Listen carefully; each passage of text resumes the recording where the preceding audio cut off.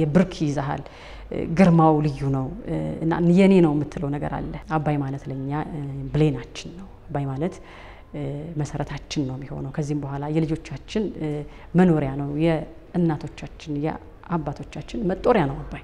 አሁን ደግሞ የዘመናችን አድዋ ስለሆነ ሁላችንም ያለ ሃይማኖት፣ ያለ ዘር፣ ያለ መጠራራት፣ ያለ ዝምድና ነገር ግን ሀገራችን ብለን የምናቆመው ሐውልት አባይ ነው እና አንቺ ስንት ዓመት በፊትሽ ሳታወቂ በጀርባሽ ታዋቂ ትሆኛለሽ እንዴ?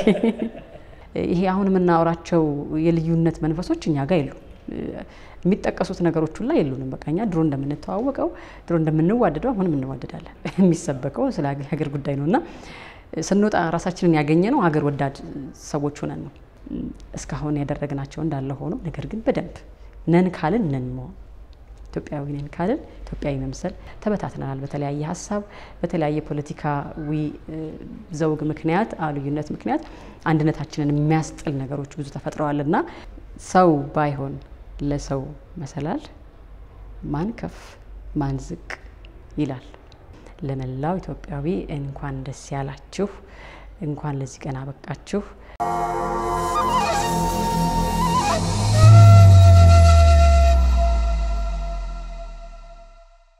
ሰላም ጤና ያስጥልን ክቡራትና ክቡራን የዮሃ ሚዲያ ቤተሰቦቻችን በመላው ዓለም ያላችሁ ተከታዮቻችን በያላችሁበት ዓለም ጫፍ ሰላምታችን ወደ እናንተ ይድረስ። ዮሃ ሚዲያ የተለያዩ ሀሳቦችን ሰበዝ እየመዘዘች ዛሬም ወደ እናንተ ማድረሱን ይቀጥላል።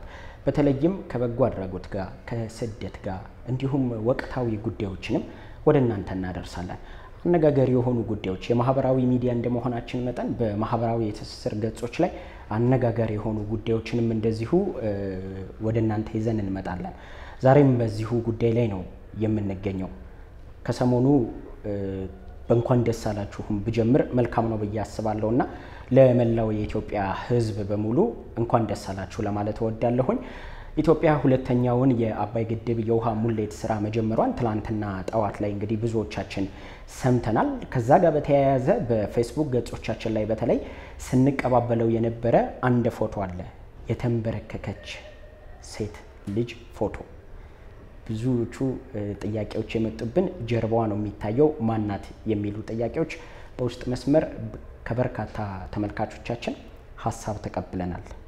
ስለዚህ ማንነቷን ልገልጽ እዚህ መታለች ማለት ነው። ገጣሚት ምስራቅ ተረፈ ትባላለች። ጦቢያ ግጥም በጃዝ በሚል ፕሮግራም ትታወቃለች። አርትስ ቲቪ ላይ ይህንን ፕሮግራም ብዙዎቻችሁ ታውቁታላችሁ ብዬ አስባለሁ። በሙያዋ ገጣሚት ናት።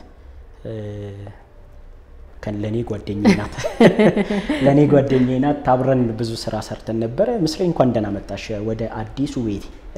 እንኳን ደህና ቆየኸኝ። እየኋላ ላይ ተገናኝተን አናውቅም አይደል? ብራና ላይ እንገናኝ ነበር ድሮ ብራና እያለሁ። ከዛ ጦቢያ ላይ አብረን እንውል ነበር። ጦቢያ ላይ ከመገናኘት አጋጣሚ ማመስገን ይጠበቅብኛል ይመስለኛል። ለምን እንዳያልፈኝ ይሄ ድል አንተ ለጦቢያ ግጥም በጃዝ በነበረን ሂደት ከፍተኛ ስራ ስትሰራ የነበር ጓደኛችን ወዳጃችን እና ለጦቢያም መሰረት ከሆኑት ሁሉ መካከል ስለሆንክ በዚህ አጋጣሚ ምስጋና መስጠት ስለሚገባኝ ሌሎቹ በዚህ መንገድ ለማያውቁ ደግሞ የጦቢያ አካል እንደነበረ አሁን ግን አፈንግጦ ይኸው ራሱን ችሎ ወጥቶ ነው። አይ አላፈነገጥኩም። አለው አለው አለው ከጦቢያ ማፈንገጥ አይቻልም እኮ ወይ ተመልካች እንሆናለን ወይ የሆነ ብዙ ፕሮጀክቶች አሉ ጦቢያ ቤት እና አንዱ ፕሮጀክት ሲመጣ አንዱ ውስጥ እንሰካለን። እንደዛ እያለን እየሄድን ያለ ነው። ያን ያህል እንደው ምስጋና የሚገባኝ መሰረት ከጣሉትም ውስጥ መባል የሚገባኝ ነኝ ብዬ አላስብም። ትልቅ መድረክ ነው። ትልልቅ ወንድሞቼ እህቶቼ የነበሩበት በጣም መወዳቸው ሰዎች የነበሩበት ነበረ። ግን ብዙ ጊዜ ደስ የሚለኝ እኔም አንድ ቀን እናገረዋለሁ ብዬ የማስበው ጦቢያን ፑሽኪን ላይ ሲዘጋጅ እኔ ተማሪ ሆኜ ተመልካች ነበርኩ። ከዛ ራስ ሆቴል ላይ እኔ አዘጋጅ ሆኜ የመጣው ድጋሚ እና በዛ ደረጃ ጦቢያ ቤት ውስጥ መቆየቴ በጣም ደስ ይለኛል በግል እና ያንን እድልም ከሰጡኝ እንግዲህ ውስጡ ካሉ ሰዎች መካከል አንዱ አንቺ ነሽ። እኔም አመሰግናለሁ። የጀርባ ፎቶ ጉዳይ ታዋቂ አድርጋሻል። እንግዲህ አይገርምም? እስከዛሬ ስነሳ ትላንት ጠዋት ስነሳ እና ፌስቡኬን ስከፍት በጣም ብዙ ፎቶዎች አየውኝ እና ያንን ፎቶ አንቺ መሆንሽን እኔ አውቀው ነበር ቀድሜና ምስሪ ሳትነግረኝ ታዋቂ ሆነች እንዴ? ስደውልም በዛ ስሜት ነው እምልሽ። ታዋቂ ሆነሻል፣ ሰላም ነው ግን አንቺ ሰላም ነሽ አይደል ነው ያልኩት። አሁን አሁን ብዙ ጊዜ ማህበራዊ ትስስር ገጾች ላይ በተለይ ፎቶ የሆነ ሰው ፎቶ ሲበዛብን መጥፎ ነገሩ እየመጣብን መጣ መሰለኝ። ወይ ሲያረፍ ወይ ምናምን ነው ብዙ ጊዜ ፎቶ የምናየው እና ደወል ተደርጎ ወዲያው ፎቶ በዛ ነው የሚባለው። ያንቺ በበጎ ጎኑ ነው እንግዲህ ጊዜው መች ነበረ? የፎቶ የፎቶ ጊዜ ጥቅምት አካባቢ ነው። ጥቅምት ወይ መስከረም መጨረሻ ላይ ከአሜሪካን ሀገር ከመጡ ለገርዱ ገንዘብ ያሰባሰቡ ሰዎች ነበሩ። እንዲሁ ጣናንም ለመጎብኘት ኢትዮጵያውያን ናቸው እዛ ሀገር የሚኖሩ ሲያትል የሚኖሩ ሀምሳ ስምንት ኢትዮጵያውያን ናቸው። ነገር ግን ከዛ የተወከሉ ስምንት ሰዎች ለኢትዮጵያ ያላቸውን ገንዘብ አዋጥተው ይዘው መጥተው ነበር እና እነኚህ ሰዎች እንግዲህ ተፈቅዶላቸው እዛ ገርዶ መጎብኘት እንደሚችሉ ሲነገራቸው እኛን ደግሞ ጦቢያን ግጥም በጃዝ በተለይ ውጭ ሀገር በሚኖራቸው ስራ ለገንዘብ ማሰባሰቡ ሂደት እንደምናስፈልጋቸው ሲነግሩን እኛ ደግሞ ያው ሀገራዊ ጉዳይ ላይ ንቁ ተሳትፎ እናደርጋለን ብለን ስለምናስብ በደስታ ነው የተቀበልናቸው። ስለዚህ በጉዟቸው ላይ ከነኚህ ከስምንቱ መካከል እኔና ተስፋውን ከበደ ፍራሸዳሽ ተጋባዥ ነበርንና በሰዓቱ እንግዲህ ይሄን ነው የሚመስለው። ስምንት ሰዎች እኛ ሁለት ሆነን እዛ ተገናኘን ማለት ነው። ምስሪ ገጣሚ ነሽ። ቆንጆ ቆንጆ ግጥሞች አሉሽ። ብዙዎች እንደውም ረጋ ያለች ገጣሚ የሚል ስያሜ ያላቸው ስለ አንቺ ሲሆኑ ገጣሚያኖች አንዳንድ ሀሳባቸው በተለይ የግጥም ሀሳባቸው ወደ ነብይነት ይወስዳቸዋል። ዛሬ ላይ የተናገሩት ወይም የገጠሙት ስንኝ ነገ ሆኖ ይገኛልና ትንቢት ተናጋሪዎች ናቸው፣ ነብይ ናቸው የሚባል ሀሳብ አለ። ይሄ ፎቶ ስትነሺ ገጣሚነትሽ ተጠናውቶሽ እንደው ነብይ ሆነሽ ነበር? አይደለም እንግዲህ ሳላውቀው ሆኖ ከሆነ አላውቅም፣ ግን እዚህ ቦታ ላይ እንዲህ አለመሆን አይቻልም። እውነቱን ለመናገር የትኛውም ኢትዮጵያዊ አባይን ወደ ውስጥ ሲፈስ ማየት ሲችል ምን ያህል ትልቅ ስሜት እንደሚሰማው መገመት ይቻላል እና እንግዲህ ያጣናቸውን ነገሮች እናውቃቸዋለን። ኢትዮጵያ በተለያዩ ችግሮች ውስጥ ያለችበት መንስኤ ብዬ የማስበው ዋነኞቹ መካከል አባይ ነው። ከኢትዮጵያም ታሪክ ስንነሳ በርካታ ችግሮቹ ከዛ ጋር የተያያዙ ናቸው እና ብዙ ነገር አተንበታል። ወንድሞቻችንን ከፍለንበታል። ወገናችንን አተናል። ኢትዮጵያ እንዲህ ሆናለች። የኢትዮጵያ መልክ ይሄን መስሏል ብዬ እኔ በግሌ ያምናለሁ እና የነዚህ ሁሉ ደግሞ ፍጻሜ የሚሆነው ደግሞ የአባይ ግድብ ሲያልቅ ነው ብለን እናምናለን። እንግዲህ በጥቂቱም ቢሆን እና እዚህ ቦታ ላይ መድረስና ማየት ለአንድ ኢትዮጵያዊ ለአንድ ወይ ደግሞ ሀገሬን ስኬት ወይ ደግሞ የሀገሬን ደህንነት እፈልጋለሁ ለሚል ኢትዮጵያዊ ትልቅ ትርጉም አለው እና በሰዓቱ ያን ስሜት አናቀውም። እንግዲህ አሁን ውጭ ያሉ ሰዎች ወደ ሀገር ሲመጡ መሬት ይስማሉ አይደለ? ምድራቸውን ይስማሉ አይደል? ትልቅ ኃይል አለው እኛ እዚህ ስላለን ስለማናስተውለው ነው እና እኔም እንደዛ የጨበጥኩት ያህል ሊያስኩት ያህል ለዘመናት ሲፈስ ሲወርድ የነበረ ውሃችን፣ ንብረታችን፣ ቅርሳችን፣ ታሪካችን ነው እና አባይ እነዚህን ሁሉ ግን ያገኘው ያህል ስለተሰማኝ በማላውቀው ስሜት ነው እንደዛ የሆንኩት። ተስፋውን ከበደ ነው ፎቶውን ያነሳኝ። ስለዚህ እንግዲህ ዛሬ ከድሉ ብስራት ጋር ሲገናኝ መልክ አመጣ ብዬ አስባለሁ እንጂ ቀደም ያለ ፎቶ ነው። ስሜት ገላጭ ነበረ። አንደኛ ውሃ ሙሌት ነው። አሁን ሁለተኛውን ዙር ውሃ ሙሌት ነው ከትላንትና ጀምሮ ስንሰማው የነበረው ዜና እና ያንቺ የተነሳሽበት ፎቶ ምናልባት ተመልካቾች screen ላይ ፎቶውን ያዩታል። ውሃው እየፈሰሰ ነው እና አሁን ነው የሚመስለው የብዙዎችም ስሜት አሁን እንደሆነ ነው ብዙዎች የተጋሩት። እውነት ነው። አሁንም ነው እኮ እውነቱን ለመናገር እኔ አሁን ከአንተ ጋር እያወራው ያ ስሜት አለ። ያ የብርክ ይዛሃል። ግርማው ልዩ ነው እና የኔ ነው የምትለው ነገር አለ እና የነዚህ ሁሉ ድምር አንድን ሰው እዛ ጋር ቆሞ ያስኬደዋል እኔ ብዬ አላምንም። ለምን ሁሉ ነገራችን ስለሆነ። ስለዚህ ሁሉም ሲያየው ራሱን አንበርክኮ ነው ያየው ስለሚያደርገውም ጭምር። ስለዚህ ሁሉ ሰዎች ፒክቸራቸውን ፎቶውን የራሳቸው ምስል ሲያደርጉት ራሳቸውን እዚህ ፎቶ ላይ እያስቀመጡ ራሳቸውን እዚህ ጋር እያንበረከኩ ነው። እና ይሄ ሁሉ ደግሞ ለሀገራቸው ነው ለኢትዮጵያ ነው። እና እያንዳንዱ ኢትዮጵያዊ ይሄ ስሜት አለው። ስለዚህ ለእኔ ይሄን ማድረጌ እንደ ትልቅ ነገር መታየት አለበት ብዬ አላስብም። ለምን? የዜግነት ትንሿ ተሳትፎ ነች ብዬ አስባለሁ። እና ሁሉም ኢትዮጵያ ያደርገዋል እና በተለያየ የዓለም ጥግ ያለ ኢትዮጵያዊ ይሄን ፎቶ ሲመለከት የሚሰማውን ደስታ ማሰብ እችላለሁ። ለምን በቃ ኢትዮጵያን አገኘ፣ ሀገሩን ተገናኘ። ልመናም ይመስላል፣ ምስጋናም ይመስላል፣ ፎቶ እግዚአብሔርን ማመስገኛውም ይመስላል እና በእነኚህ ሁሉ ድምር እንግዲህ ፎቶ ሰዎች ሁሉ ሊያዩት ይቻሉና ደስ ይላል። ምናልባት እንደው ወደ ከፎቶ ሳንወጣ ትላንትና ጠዋት ላይ እኔም ስደውልልሽ ኧረ ምንድን ነው ነው የልሽኝ እና ስትነሺና ያንቺን ማህበራዊ ትስስር ገጽ ማየት ስትጀምሪ እነዛ ጉዳዮች ያ ፎቶ ብዝት ብሎ እንደዛ ስታዩ አንቺ ምን አይነት ስሜት ተሰማሽ? እንደው ትላንት እየደወልኩ እንደውም አሁን ልምጣ ነበር እያልኩ የነበረው ያንን ስሜት ማግኘት በጣም ከባድ ነው። ወንድሜ ምን አለ መሰለ ብዙ ጊዜ ቀልዳልና ቀልዳለሁ እና አንቺ ስንት ዓመት በፊትሽ ሳታወቂ በጀርባሽ ታዋቂ ትሆኛለሽ እንደዛ ነው ያለውና ከቤተሰብ ተደውሎልኛል። እኔ ቀን ላይ ነው ያደረግኩት ያንን ፖስት ያደረግኩት እና ማታ ላይ የድሉ ዜና ተነገርና መገጣጠሙ ምናልባት እኔ አስቀድሜ ሰምቼም የመሰላቸው ሰዎች አሉ።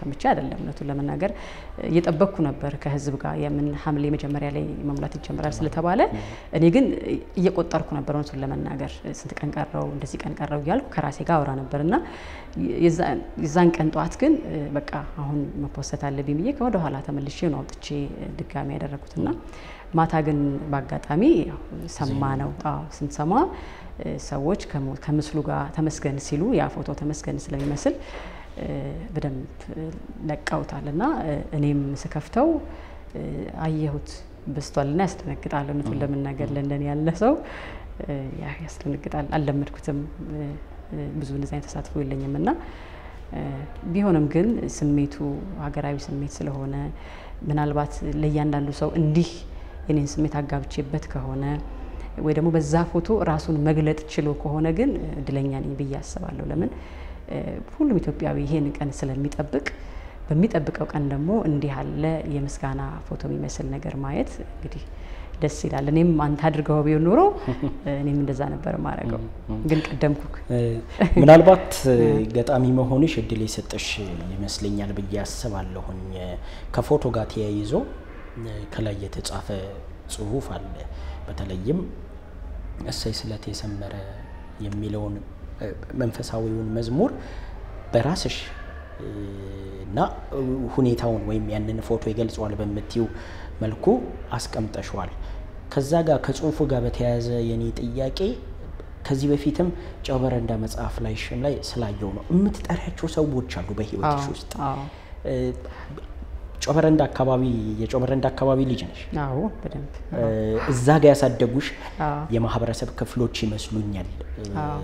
ከመጽሐፉም ጀምሮ ስለመጣው እና እዚህም ጋር እገሊት በጭብጨባ በእልልታ እየተባሉ እያንዳንዳቸው professional የሆኑ በጣም ሙያ ያላቸው ሰዎች ተጠርተዋል። እና እነማን ናቸው? አሁን ሲያዩት ባሉበት ሀገር ሆኖ እንደሚስቁ አውቃለሁ። እና እዚህ ጋር የወከልኳቸው ሰዎች ሁሉ በልጅነት የምናደርጋቸው ነገሮች ናቸው እና ያው ደስታዬ ጋር አይደል ሀገሬ ጋር እንደሆነ ሁሉ እንግዲህ በእነሱ እናቶች ነው ያደግኩት ብዬ ብዙ ጊዜ ተደጋጋሚ እናገራለሁ እና አሁን በተለያየ ዓለማት ናቸው ያሉት እነኚህ ወዳጆች የተጻፉት ሰዎች የአንቺ ጓደኞች ናቸው፣ የኔ እኩዮች ናቸው፣ አብሮ አደጎች ናቸው።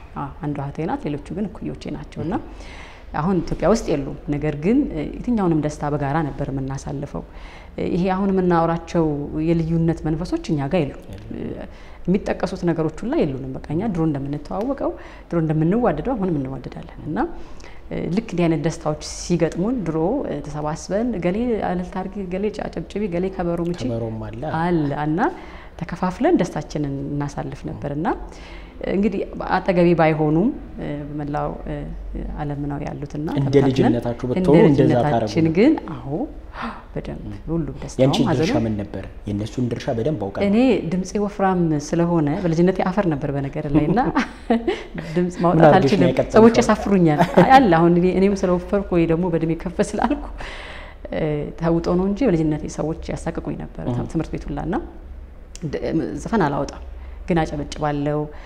የኔ ስራ ደብዳቤ መጻፍ ከሆነ በደንብ አድርጌ እጽፋለሁ። እንዲህ አይነት ስለዚህ ስራዎች እኔ ነኝ የምሰራው። ከላይ ግጥም እንደጻፍሽው ግጥም ማውጣት በደንብ እንደውም ዛሬ አንዷ ከጠቀስኳቸው መካከል መንበረ ዘሪሁን ትባላለች። አዲ ነው እኛ የምንላት።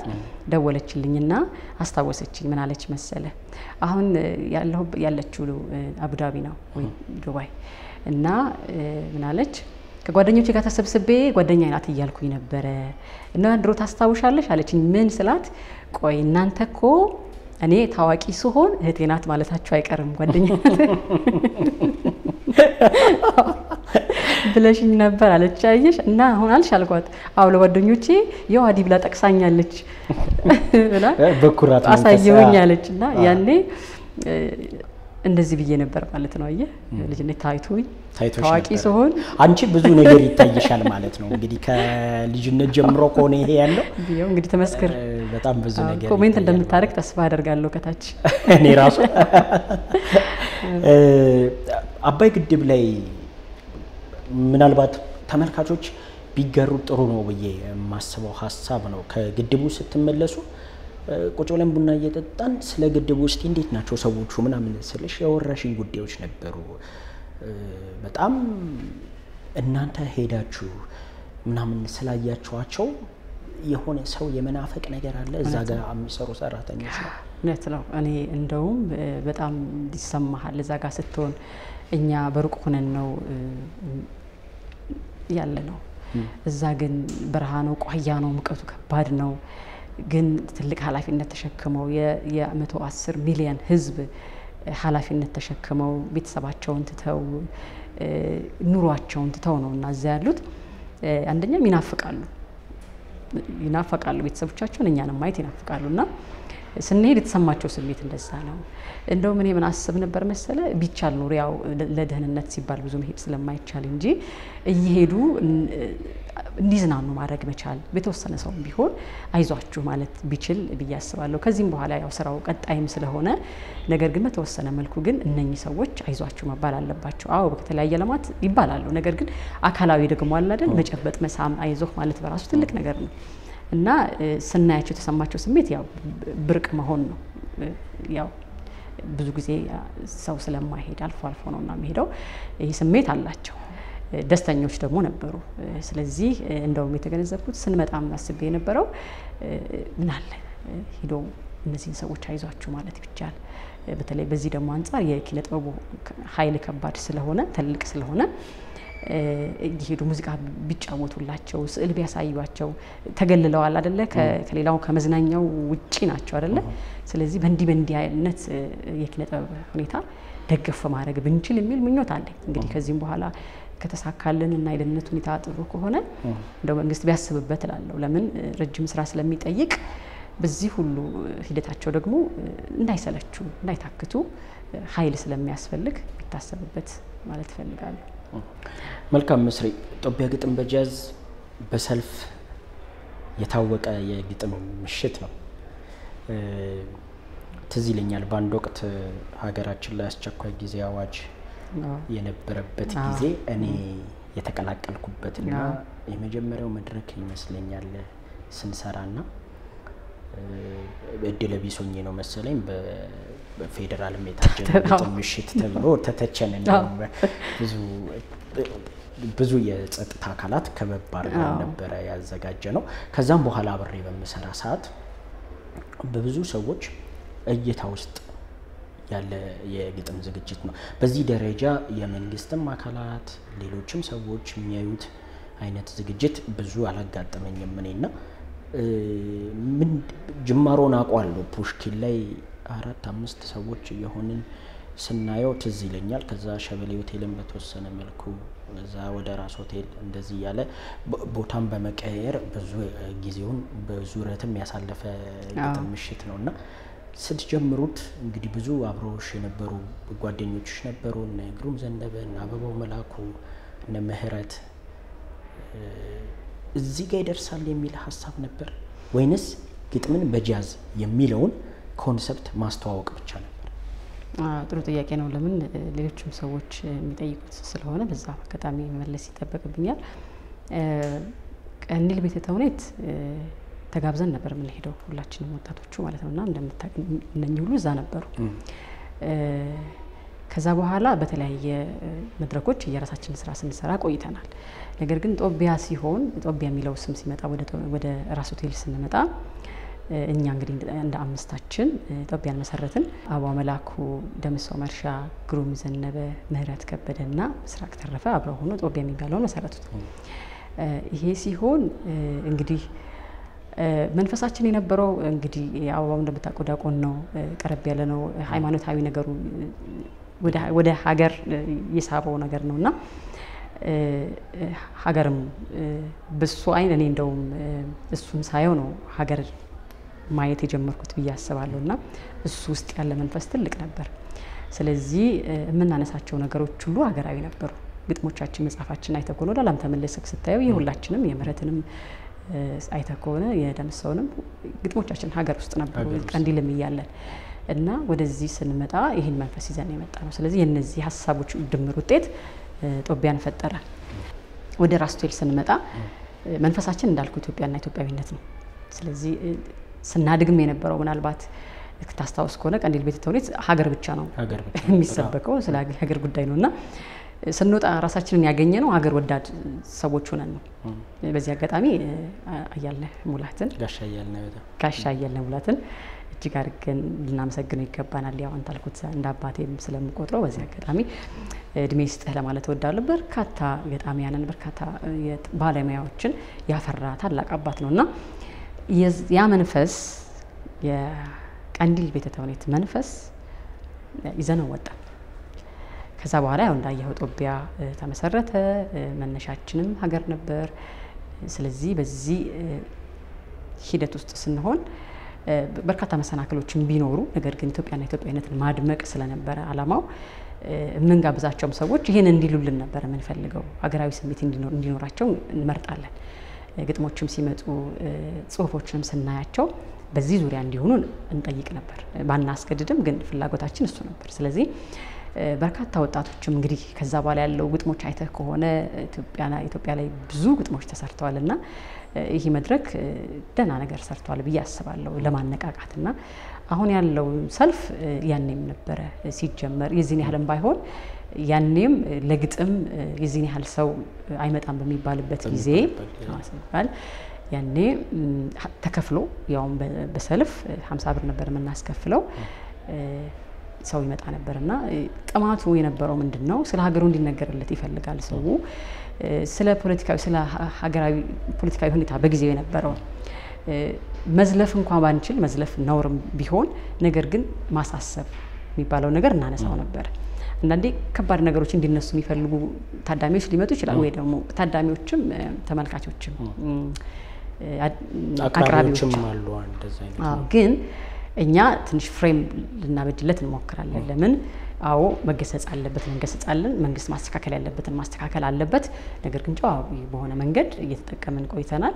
በዛም ደግሞ በእውነት ያው እየፈረምከው በየ እንዳለ ሆኖ ያው ማስፈራሪያዎች ቢኖሩም አንዳንድ ማስጠንቀቂያዎች ቢኖሩም ግን ያው አልፈናታል።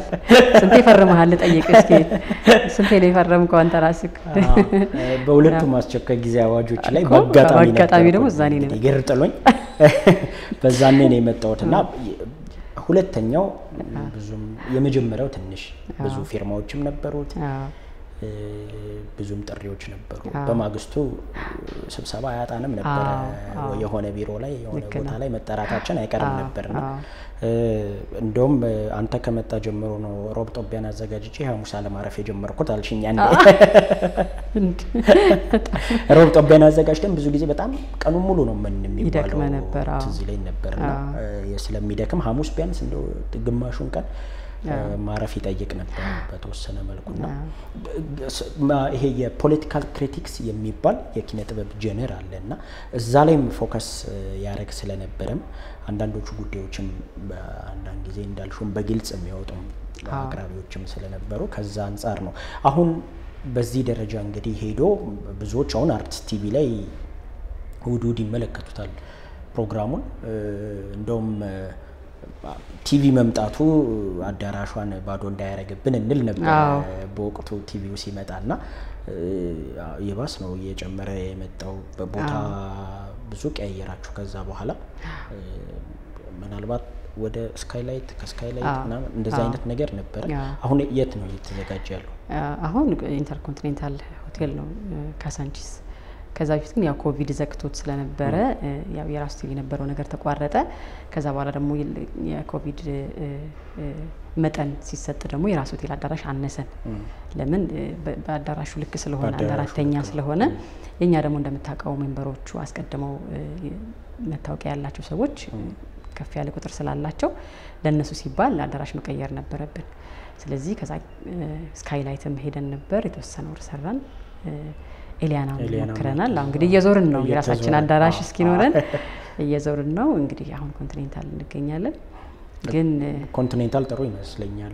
ሰፊ ነው፣ ሰፋ ይላል ህግጋቱንም ለመጠበቅ አዎ እንደዛ ነው እንግዲህ ዘመኑ መምሰል ስላለብን ከኛ ደግሞ የሚጠበቀውን ነገር ለማድረግ ያው እንደዛ እያደረግን ነው። በዚህ አጋጣሚ ግን መጨመር የምፈልገው ነገር ያው ተመልካች እውነትም ጨምሯል።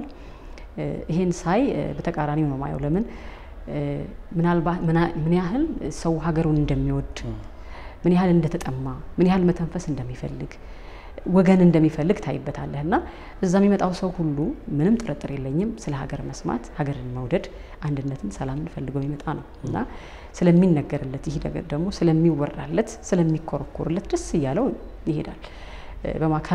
ከማግስቱ ጀምሮ ያሉትን ወር እስኪደርስ ድረስ ስልኮች እንቀበላለን። ለምን ስንቃችን ነው ብለው ስለሚያምኑ ደግሞ ተደስተውም ስለሚሄዱ ያ ወር እስኪደርስ ድረስ ይናፍቃቸዋል። ይህ ማለት እዛ ጋር የምትነገረው ኢትዮጵያ ስለሆነች ነው፣ ሀገር ስለሆነ ነው፣ አንድነት ስለሆነ ነው እና ይህ ደግሞ እንግዲህ ባሰፋ ነው መጠን ብለህ አስበው ብዙ አዳራሾች ቢኖሩ ብዙ እንዲህ አይነት መድረኮች ቢኖሩ ምን ያህል ትውልድ እናተርፋለን። በተለይ ወጣቱን እንዴት አድርገን መከለል እንችላለን። እዚህ ላይ ቆጭ አለው። ለምን አሁን ሀገር እንደዚህ ሆነች ሀገር መልኳ ጠየመ ሀገር እንዲህ ተበላሸች ስንል ምን ሰርተን ነው እላለሁ። በዚህ አዳራሽ እንኳን የምናተርፋቸውን ወጣቶች ስናስብ ሌላ አዳራሾች ቢኖርና የምንሰበስባቸውን ወጣቶች ደግሞ ማመጣጠን ይቻል ነበረ።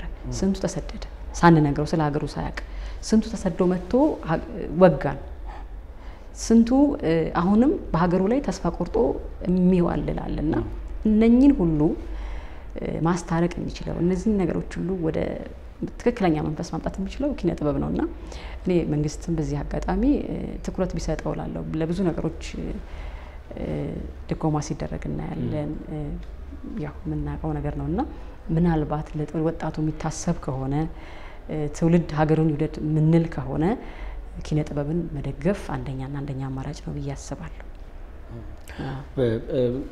ጦቢያ እንግዲህ በቋሚነት አለ። ከዛ ውጭ ጦቢያ ስር የሚዘጋጁ አንዳንድ ፕሮጀክቶች እንዳሉ አውቃለሁ። ከዚህ በፊት እንደ ራሴ ለአስራ ሁለተኛ ክፍል የመንግስት ትምህርት ቤቶች ሀሳባቸው በጣም ወጣ ያሉ ሀሳቦች እዛ ቤት ውስጥ ይመጣሉ። ብዙ ጊዜ አሁን የግል ትምህርት ቤቶች አስራ ሁለተኛ ክፍልን ሲጨርሱ እንደ ግራጁዌሽንም ሊሆን ይችላል፣ እንደ መለያያም ቻው መባባያም ሊሆን ይችላል። የሆነ አይነት ፕሮግራም የሆነ አይነት ሆቴል ገንዘቡ ስላላቸው አቅሙ ስላላቸው ያደርጋሉ። የመንግስት ትምህርት ቤቶች ግን የማትሪኳ ፈተና ዕለት የተሰነባበቱ ወይም የማትሪክ ውጤት ያዩ ዕለት የተሰነባበቱ ወይ ላይገናኙም ይችላሉ ወይ እና እነሱን ደስ በሚል መንፈስ ዩኒቨርሲቲም ሲገቡ motivate ሆነው ንቅት ብለው እንዲገቡ የሚያስችል እንደ ራሴ የሚል ፕሮጀክት ከዚህ በፊት አንዴ ተሰርቶ ቆንጆ ዝግጅት ሆኖ አልፏል። እንደዚህ እንደዚህ አይነት ጉዳዮች አሉ። ምናልባት ከጦቢያ ከዚህ በኋላ የሚጠበቁ ሌላው በጣም አዲስ ነገርን በማስለመድ ይታወቃል መድረኩ። one man show ቲያትር ጦቢያ ላይ ነው በብዛት የተዋወቀውን ከነ ግሩም ዘነበ ጀምሮ እያዩ ፈንገስ ጀምሮ ፌስታላይም ብሎ ራሱ ግሩም ዘነበ መጥቷል። ከዛ በኋላ እነ ከድር ሰተቴ መጥተዋል። አሁን ፍራሽ አዳሽ አለ። ሽመልስ አበራ ጆሮ ነበር ደብተራውን ይዘው በተለየ መልኩ እንደውም አንድ አጫዋች character የነበረበት scene ነበረ። እንደዚህ አይነት አዳዲስ ነገሮችን የ choir ግጥምንና ኳየሮችን የማገናኘት ነገሮች እንዲህ እንዲህ አይነት አዳዲስ ሙከራዎች ሲሞከሩ አያለው እና ከጦቢያ ቤት ምናልባት አሁን የሚወጡ ሌሎች አዳዲስ ነገሮች ይኖራሉ። ከዛ ጋር በተያያዘ እንደ አያይዘሽ የአባይ ግድብ ጉዳይ ላይ ቀድም እያልሽ ነበረ እንደ መጠየቅ ማዝናናት ብንችል ስላልሽ እንደሱስ አይነት ነገር ታስቧል ወይ? እንኳን ደስ አላችሁም ብሎ ቤተሰሪዎቹን መጎብኘት ያስፈልጋል ብዬ አስባለሁ። እውነት ነው። እንዳልከው የጦቢያ ራሱ መጀመሪያ ሲመጣ የለመድነው ግጥም ብቻ ነበር እና ግጥም የራሳችን የሆኑ ሰው እንኳን አይሰማንም ነበር እና ከሙዚቃ ጋር ሲሆን ከትወና ጋር ሲሆን ከተለያዩ ነገሮች ጋር ሲሆን ያው ጎልቶ የመውጣት ነገር ታይቶበታል እና ከዛ በኋላ ግን ያው ተለመደ እንዳየኸው። ያ ማለት ግን ግጥም ብቻውን አይቆምም ማለት ሳይሆን ግጥም በራሱ መቆም የሚችል ኃይል አለው። ሙዚቃም እንደዚሁ። ነገር ግን ግጥም የማይወደውን ሰው ግጥም የማያውቀውን ሰው ግን አስተዋውቀናል በዚህ መንገድ ብዬ አስባለሁ። ብዙዎች ከዚህ በፊት ግጥም ሰምቼ አላውቅም ብለው ይሉህና ወይ ደግሞ ይሰለቻቸውና ማንበብ ነገር ግን እንዲህ ሲደረግላቸው የሚወዱ በርካቶች ናቸው እና እንዳየኸው ደግሞ የዚህን ያህል መስፋት የዚህን ያህል ተወዳጅ መሆን የሌሎቹም ድምር አንድ ላይ ስለመጣም ነው ብዬ አስባለሁ። በዛ ላይ በመድረካችን ግጥም ብቻ አይደለም የሚዘጋጀው ሌሎችም የኪነ ጥበብ ስራዎችም ስላሉ እነኝን ሁሉ በአንድ ስለያዘ ሰው ለተለያዩ ፍላጎቶች ሲል ይመጣል እና በዚህ ምክንያት ተወዳጅ ሆኗል። አዳዲስ ነገሮችን መሞከር እንፈልጋለን። አሁንም ወደፊትም የምናደርጋቸው ናቸው። ግን ውላቸውን እንዳይስቱ ደግሞ እንጠነቀቃለን። በተለይ አሁን አሁን ደግሞ ትንሽ እድሜም ጨመር ስንል ያው ታየኸኝ ጨመር ብያለሁ አይደለ ሲሆን ይበልጡኑ ወደ ሀገራችን ይበልጡኑ ወደ ታሪካችን መጠጋት እንፈልጋለን። እስካሁን ያደረግናቸው እንዳለ ሆኖ ነገር ግን በደንብ ነን ካልን ነን መሆን ኢትዮጵያዊ ነን ካልን ኢትዮጵያዊ መምሰል ኢትዮጵያን በደንብ ማየት እና ከዚህም በኋላ በአዳዲስ ነገሮች ነው መምጣት የምንፈልገው። አዳዲስ ስል ግን መሰረት እንደያዘ ሆኖ ነገር ግን የኋላን እያመጣን ወደፊት ማጠናከር መቻል፣ በደንብ ስለ ሀገራችን ማወቅ፣ ሰው ኢትዮጵያን ወዳለው ሲል አውቋት እንዲወዳት ማስቻል። ለእነዚህ ደግሞ ለማወቂያ መንገዶች የተለያዩ ፕሮጀክቶች ዘርግተናል። ስለዚህ ወጣቱን ማግኘት ነው የምንፈልገው። በደንብ በእኛ አቅም ማድረግ እስከምንችልበት ጊዜ ሂደን ትልልቅ ስራዎችን አስበናል። በአባይ ጉዳይ ላይ እንዳልኩ በአሜሪካን ሀገር ካሉት ሰዎች ጋር እዛው የስቴቱ እየሄዱ የአባይን ጉዳይ በማንሳት የገንዘብ ማሰባሰቢያ ፕሮግራም ይደረጋሉ። የኮቪዱ ነው የያዘን። ስለዚህ ምናልባት እሱ ነገር ከተከፈተ ገንዘብ ሰብሰብ አድርገን እንግዲህ ለአባያችን እናመጣለን የሚል ተስፋ አለኝ። እዚህ ሀገር አንድ ሁለት ሶስት ፕሮጀክቶች ሰጥተናቸዋል ከቢሮ ከሚመለከተው አካል ጋር እና እንደውም የመጀመሪያው ኮቪዱ ሳይመጣ በፊት የሰጠናቸው ፕሮጀክት ነበር እና ያው ሲንጠለጠል እንዲህ እንዲህ ሲል እስከዛሬ አልተሳካም። አሁን ግን ግዴታ መሆን አለበት ብዬ አስባለሁ። ለምን ሰውን ወደ አንድነት የሚያመጣ ኃይል ስለሆነ ተበታትነናል። በተለያየ ሀሳብ በተለያየ ፖለቲካዊ ዘውግ ምክንያት ልዩነት ምክንያት አንድነታችንን የሚያስጥል ነገሮች ብዙ ተፈጥረዋል እና አሁን ደግሞ የዘመናችን አድዋ ስለሆነ ሁላችንም ያለ ሃይማኖት፣ ያለ ዘር፣ ያለ መጠራራት፣ ያለ ዝምድና ነገር ግን ሀገራችን ብለን የምናቆመው ሐውልት አባይ ነው እና በዚህ አጋጣሚ ለመላው እንደው ይህን ዝግጅት ለሚከታተሉ ሁሉ ለመላው ኢትዮጵያውያን እንዲሁ ደግሞ የኢትዮጵያውያን ደጋፊዎች አባይ ማለት ለኛ ብሌናችን ነው። አባይ ማለት መሰረታችን ነው የሚሆነው። ከዚህም በኋላ የልጆቻችን መኖሪያ ነው፣ የእናቶቻችን የአባቶቻችን መጦሪያ ነው አባይ። ስለዚህ ይህን ደግሞ ለማድረግ እኛ ጉልበት አለን ብለን የምንል ሰዎች በጉልበታችን፣ በእውቀታችን፣ በገንዘባችን አባይን ረድተን ራሳችንን እንርዳ ለማለት ፈልጋለሁ። እንዲሁ ደግሞ ለምንስ እንጠቃለን የሚለውን ደግሞ ማሰብ መቻል አለብን ብዬ አስባለሁ። ክብራችን እንጠብቃለን ስንል አዎ ክብራችን የምናስጠብቀው እኛ ነን። እኛ ተባብረን ለአባይ የሚሆነውን አድርገን ሀገራችንን በሚፈለገው ቦታ ላይ ካላስቀመጥን ለምን ተናቅን፣ ለምን እንደዚህ ተደረግን ማለት አይቻልም እና ስለዚህ ክብራችንንም እንደተከበረ እንዲጸና ሁላችንም ተደጋግፈን የአባይን ነገር እናስፈጽም ለማለት እወዳለሁ። እዚህ ያለን ሰዎች በዚህ አጋጣሚ ልጠቅስ የምፈልገው ነገር ከፈቀድክልኝ 8100 ኤ ን እንድትጫኑ በዚህ አጋጣሚ ማስተላለፍ እፈልጋለሁ። ለምን አንዳንዴ እንዘናጋለን፣ እጃችን ላይ ያለ ሰው ጦር ይመዛል፣ ሰው ብዙ ነገር ያደርጋል ለሀገሩ እያየን ነው። በተቃራኒው የሚመጣብንን አይደለ እኛ ምን እያደረግን ነው ስንል እንዘናጋለን እና ሳንዘናጋ ስልካችንን እንጠቀመው። ከኛ እንጀምር? ጥሪ? እስቲ ባካችሁ፣ ለምን ከኛ እስኪ ባካችሁ። ካሜራ ጀርባ ያሉ ሰዎች ስልኬን ያቀብሉኛል። አዎ፣ ስለዚህ እኛ ልከን እኛ እንጀምራለን። አንዳንዴ ከራስ መጀመር ነገሮችን ጥሩ ነው ብዬ አስባለሁኝና።